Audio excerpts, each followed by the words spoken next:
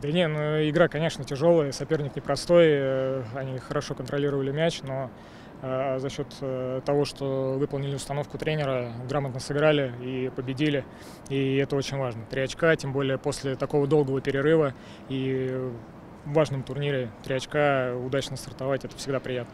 Тяжело было в обороне?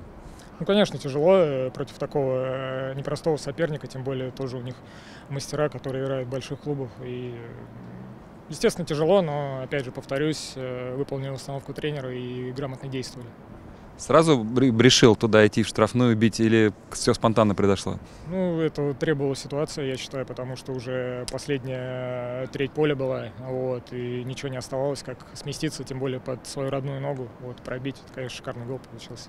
Показалось, что сам удивился, когда увидел мяч в девятке. Ну, конечно, не часто забиваю вообще голы, поэтому э, было, конечно, удивление.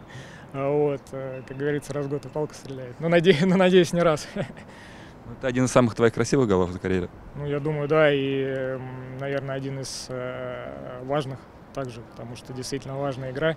Жалко, э, болельщиков не было. Естественно, э, их поддержка очень нужна, хотя мы ее чувствовали все равно даже на таком расстоянии.